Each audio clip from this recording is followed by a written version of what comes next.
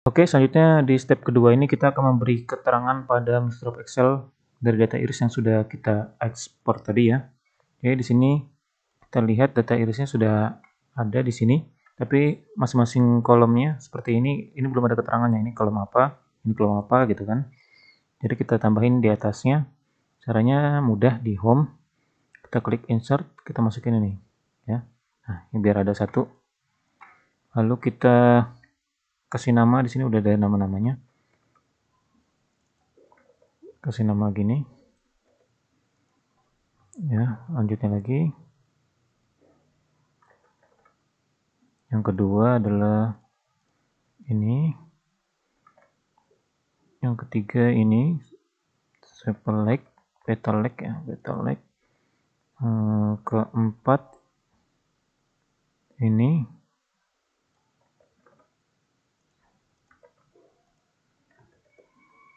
kelima jenis bunganya. Oke.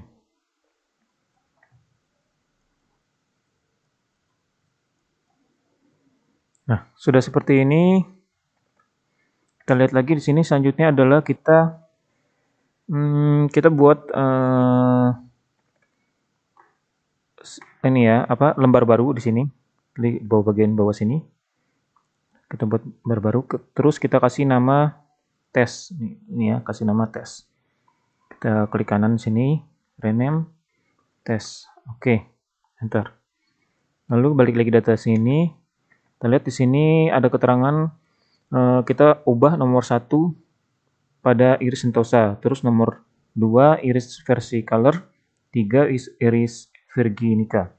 Berarti kita ini di sini ini iris sentosa ini kita ubah angka satu jadi angka satu. Seperti ini cukup caranya supaya lebih cepat kita ubah yang pertama yang paling atas lalu klik tambah ini.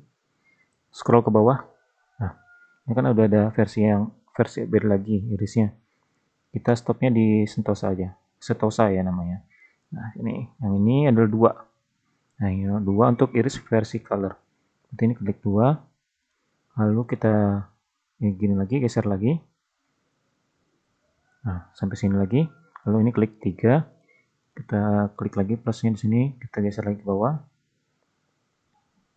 Oke sudah. Ya. Ini udah kubah 1 2 3 dan terakhir di sini adalah yang di tes ini kita ambil data pindahkan data cut data dari uh, eh, 5 row random continue.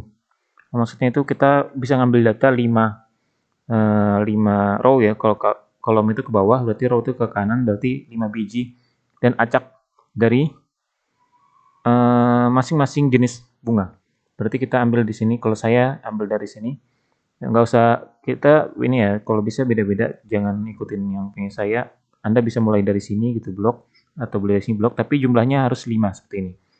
Uh, 1, 2, 3, 4, 5. Nah, baru ke kanan kita ambil semuanya. Lalu kita masukkan ke sini. Oke, jangan lupa ini judulnya juga. Kita masukkan. Nah, supaya nggak bingung ya. Kita rapikan. Nah, lanjut lagi di sini. Yang ke nomor 2 nya nah ini nomor 2 ambil lagi 5 biji kopi. Eh iya ini di paste ya. Lupa saya cut ya. Berarti di sini kita ambilnya yang tadi uh, saya ambil di mana tadi nomor satu. Ini kita cut cut paste. Oke ini hilang ya. Ini kalau mau motonginnya ngilangin bagian kosong ini tinggal klik ini lalu klik delete. Nah udah ngilang. Dia naik ke atas otomatis. Lalu nomor 2 kita ambil segini aja.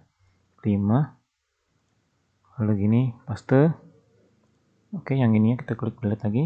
Nomor 3 nya segini nah sudah 345 cut. Ini delete eh ini pindah dulu ke sini. Paste. Lalu yang ini kita delete. Oke sudah? Ya, jangan lupa kita simpan filenya dengan nama iris ya. Di sini udah saya simpan sebenarnya tadi. Uh, kita save versi Excel ya. Iris iris. Oke. Oke, itu yang kedua ya, yang dari step 2 ini Tugas kedua sudah selesai, selanjutnya kita balik ke step ketiga. Lanjut ke step ketiga, ada di video berikutnya.